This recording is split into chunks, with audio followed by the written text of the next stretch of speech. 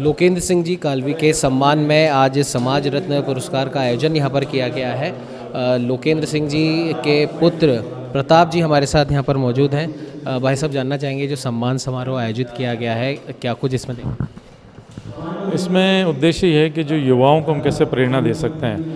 आपके शिक्षा के क्षेत्र में अगर युवा अच्छा कर रहे हैं तो बढ़िया है, नहीं तो उसके अलावा आपके पास मीडिया का क्षेत्र है, खेती का क्षेत्र है, और खेल कूद का है आपके पास आपके नया कुछ आप स्टार्टअप कर रहे हैं तो क्षेत्र है, कोई इंडस्ट्री में कर रहा है, कोई स्कूल में कर रहा है तो आपके पास लाखों क्षेत्र जिनमें आप अच्छा काम कर सकते हैं तो वो उसी उद्देश्य हम युवाओं को दिशा देना चाहते हैं कि सब अलग अलग क्षेत्र है तो उनमें आप काम करिए।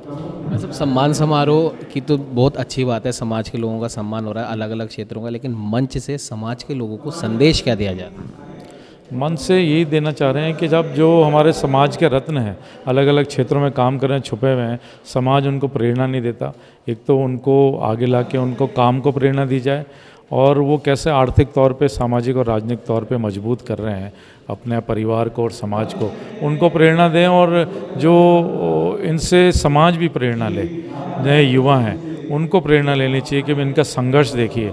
कैसे ये मतलब धरातल से उठे हुए कोई कंडक्टर थे, कंडक्टर से आज उन्होंने पंद्रह स्कूल खोल दिए।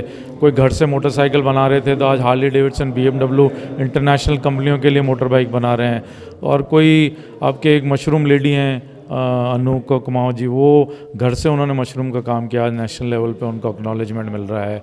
आर्मी में बहुत अच्छा काम कर रहे हैं कर्नल साहब हमारे। तो ऐसे करके बहुत सारे एक ओलंपियन है हमारे पास। तो ऐसे करके समाज को प्रेरणा मिली कि इन लोगों को संबोधन करके आगे उठा के और युवाओं को कैसे प्रेरणा दी जाए इन दिशा में।